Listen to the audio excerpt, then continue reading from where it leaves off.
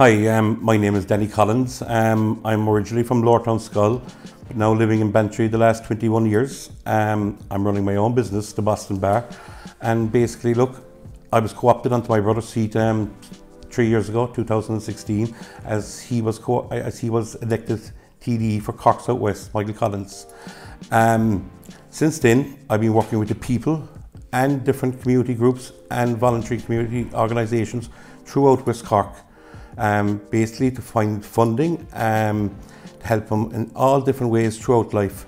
Look, I think our government have been forgetting different issues throughout our, our region of West Cork, and basically, look, I'm trying to highlight these issues and take them forward through council level and through my brother Michael Collins TD as he brings them up in the Dáil Éireann um, in his motions.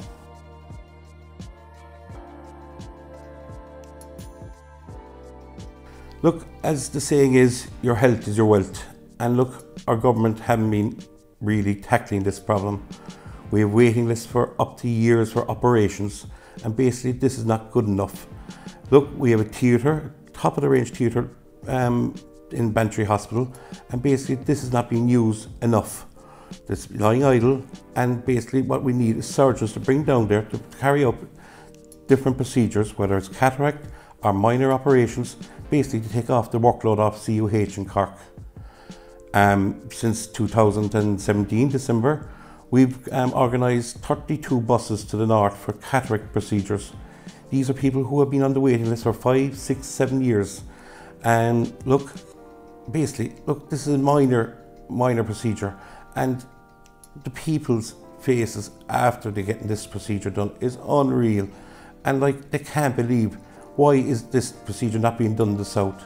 This is a, a round trip of over thousand kilometres, you see, for a lot of people.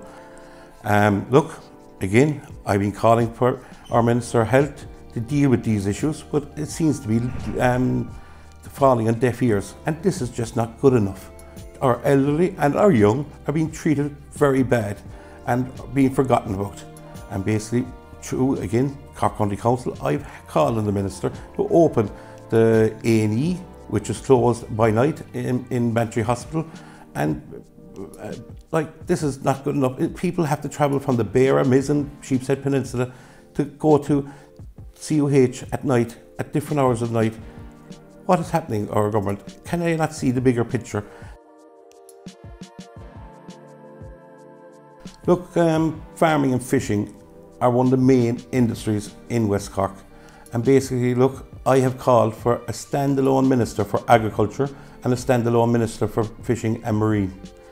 Our suckler and beef farmers are getting 100 to 150 euro less for um, their cattle to their counterparts in the north. Why is this happening? Like, you know, they're blaming Brexit, but basically it's down to our factories. They have too much say of what's happening to, over our government. Our fishing industry, our fishermen and women, they feel like, like foreigners in their own seas. Too much regulations. Again, our government are blaming Europe, but our Europe tells our, us it's down to your government. They're laying down the regulations. Again, I've called for a Minister of Fisheries to be appointed, especially to deal with this issue. I believe our Minister for Agriculture and Fisheries that's there at the moment is not dealing with these issues.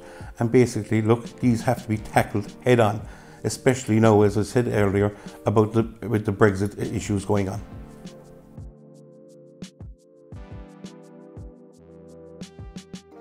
Well, like as you know, tourism is a, um, an essential key to keep um, West Cork um, vibrant.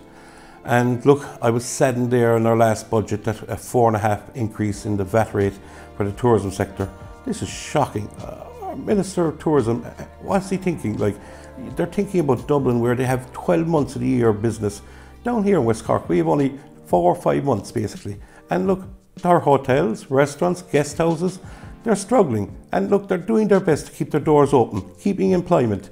There should have been a separate um, uh, VAT increase for um, rural areas such as West Cork.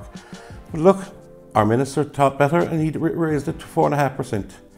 And look, this is just basically down to pure and utter ignorance from our government.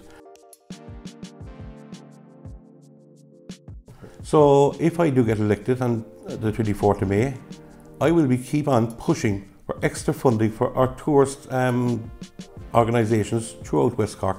And again, as well, I will be also calling again for a separate Minister for Fisheries and Marine and a separate Minister for Agriculture. Two big industries throughout the West Cork region. Look, um, there's a lot of different issues out there. Um, you have roads. Basically, we're not getting the proper funding down here in the south. Um, roads are diabolical in a lot of areas throughout the West Cork region. Um, I've called on a, a, Cork County Council to lift the embargo for um, on council staff. We need extra council staff, I believe, on our roads to um, free our gullies and and our, our, and do extra work on our roads. Um, basically, environment. We see what's happening with the Bantry Bay Kelp Group. A license was granted in Bantry where it could have been revoked. Our minister did not do this. Again, but the people of the area have been left down. It was not advertised properly. Look, again, these are just issues and there's many, many more.